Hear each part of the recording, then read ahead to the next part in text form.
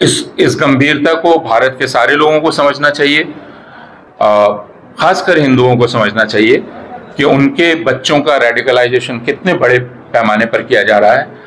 मुसलमानों के साथ जो हो रहा है, वो मुसलमान देख रहे हैं। और वो उसको झेलने को मजबूर हैं, क्योंकि पूरा का पूरा कानून और व्यवस्था का तंत्र इस वक्त उनके खिलाफ है। इसलिए वो उसको झेलने के मजबूर हैं और वो कानून व्यवस्था खुद तोड़ना नहीं चाहते हैं।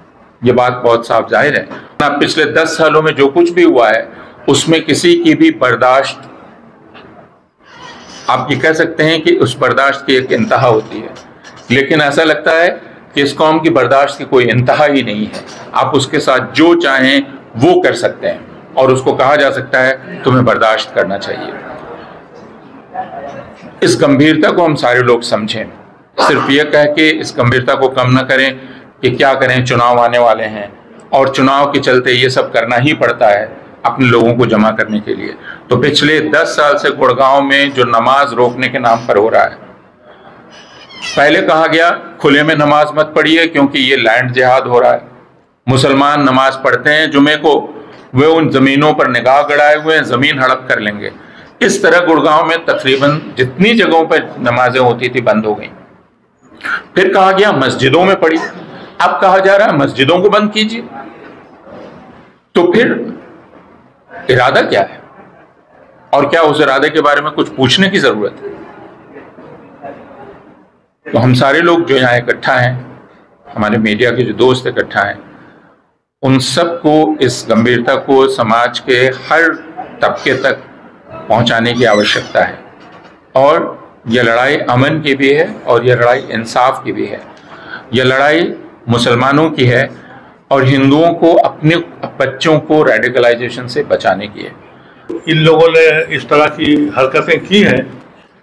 मैं सिर्फ़ एक बात ये कहना चाहता हूँ कि हमको मुकदमे लड़ने हैं और ये तंजीम जो आप काम कर रहे हैं, मैं ये चाहता हूँ और मेरी अपनी एक छोटी सी तंजीम है, उसके हमारे साथी यहाँ बैठे हुए हैं। हम हर कीमत पर और हर शख्स से ये कहेंगे कि डरिए मत। जिन लोगों को नुकसान हुआ है, जिनके ऊपर बुलडोजर चले हैं, हमने अभी अपने दोस्त, दोनों वकीलों से ये बात कही है कि जिनको भी नुकसान हुआ है, उन लोगों को तैयार कीजिए। हाई कोर्ट से सुप्रीम कोर्ट तक जितना भी मुकदमा होगा, हम लड़ेंगे। हमारी तंजीम लड़ेगी और हम सब मिलकर लड़ेंगे। और पैसे की और उसकी बात है तो मैं अपना दामा खोल के पूरे हिंदुस्तान में जाऊँगा।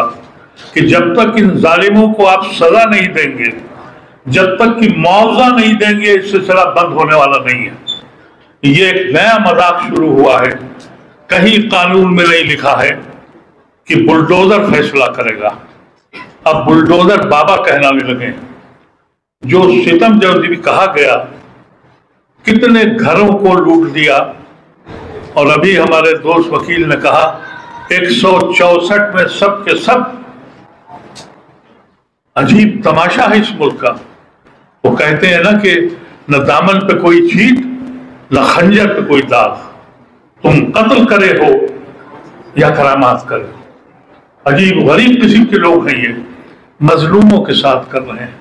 छोटे छोटे बेचारे कारोबार जब ये जिस दिन गुड़गांव की मस्जिद जली और वहाँ का इमाम शहीद हुआ, सुबह से दहशत फैल गई। जो भी लोग हर कॉलोनी, हर सोसाइटी में दो दो, तीन तीन मुसलमान रहते हैं। उनके बच्चे स्कूल जाने से माजूर हो गए, उनके घरों से भगदड़ शुरू हो गई। उस वक्त भी मैं कमिश्नर से मिला था। और उन्होंने मुझसे ये वादा किया कि हमने चार पकड़ लिए आप फ़िक्र मत कीजिए। हमने अपने साथियों से कहा कि डरो नहीं, ऑफिसर ये कह रहा है। तीन बजे मालूम हुआ जहाँ छोटे छोटे कारोबारी छोटी छोटी दुकानें थी उस पर आग लग गई। फिर मैंने उनसे जाकर बात करी। तो पता ही है, मैंने उनसे कहा इस बात को कि आप क्या करेंगे? आपकी पावर ही नहीं है।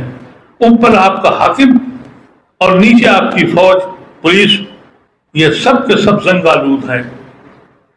तो ऑफिसर अगर कोई अच्छा है भी, आपने बरेली में देखा कि उसको उसी वक्त हटा दिया गया।